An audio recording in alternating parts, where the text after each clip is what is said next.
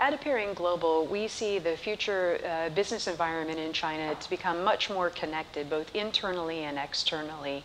Um, in the past, China has been um, had very much of a regional identity, but with new policies such as the Go West policy, whereby having workforce shifting from um, uh, first-tiered cities to second and third-tier cities, um, you see a lot of changes in the demographics and socioeconomic demographics within China.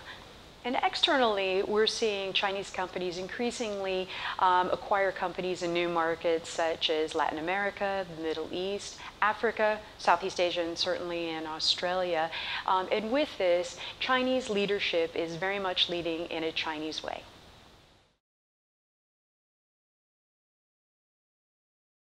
Through our research um, on Tomorrow's Leaders, where we interviewed HR practitioners, business leaders, as well as high potential Chinese, um, we found two trends. One of the trends is um, having Chinese leaders um, as, as leaders, as uh, leaders as learners.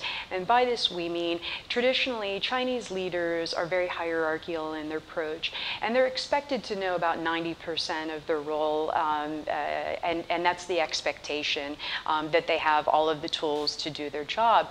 However, we're seeing a trend in through our research and interviews that we've conducted that there's a real need to shift Chinese leaders or um, shifting into being leaders as learners and really having about 60% of the role knowledge and having that opportunity to learn as leaders um, and really shift those expectations from that 90% potentially maybe to 60%. Another trend that we're seeing through our research is the need for Chinese leaders to lead um, more authentically.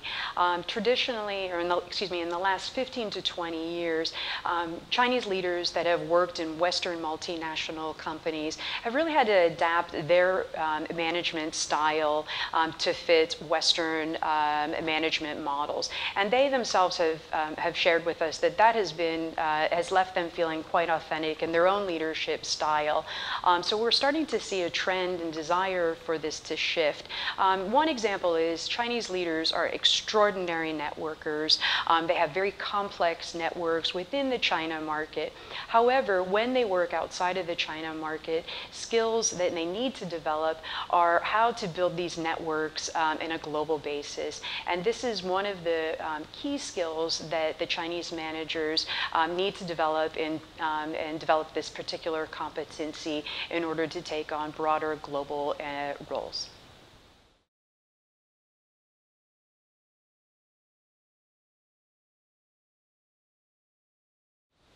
At Aperian Global, um, we see the strategies and tools um, threefold. Um, the first is uh, uh, really to um, really customize any kind of initiatives that are done in the China market for Chinese leaders versus taking um, Western initiatives and bringing them to China. We find through um, the work that we do, the, the largest success in developing Chinese leaders is really that customization within the China market market for any initiatives that are done here. Another um, uh, way for successful um, initiatives to, to work for leadership development in China is to ensure that there is very high senior executive buy-in um, and uh, participation in leadership uh, in, in, in, initiatives in the China market.